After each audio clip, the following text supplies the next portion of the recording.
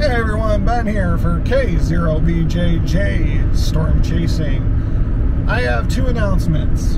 First of all, Kayla slash Bluebird will no longer be on the channel or any of the Jutting Media LLC family of channels.